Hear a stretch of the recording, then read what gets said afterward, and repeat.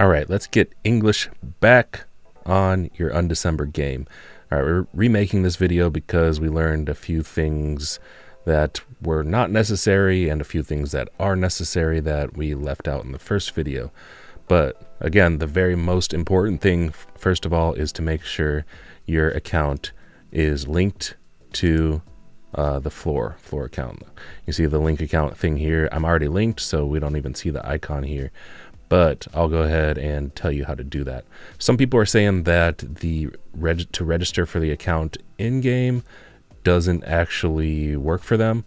So the best thing you can do is go into your browser, search for Floorline Games. Go ahead and click on Floorline Games to go to the website.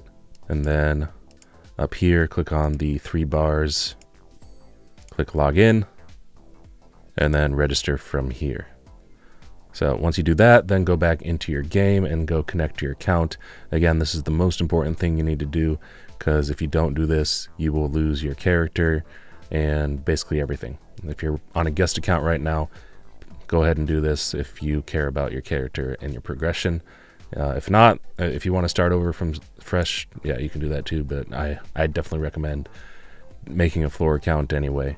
You're probably going to need it in the future anyhow, so might as well just get it done now. All right, the next thing we need to do, and this is probably the number one reason most people couldn't get English working on their phone, is you got to go in your phone settings. Uh, assuming your your English your uh, primary language is not English, um, and your phone is not in English, you actually have to get English on your phone. So this this will actually be different on depending on your phone. For me, mine is in general settings, and then you go to languages and input and this is where you can add in more languages. So you see I have English and German, I can speak both English and German, and here you can add more languages. So, so you have to have the English language added to your phone in order for the game to pick that up and then put English in the game.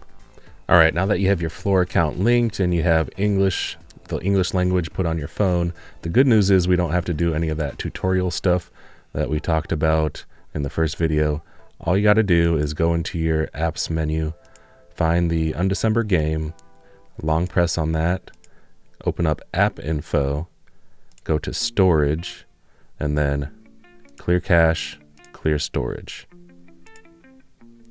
Now that will make the game have to actually download the whole three gigabytes again.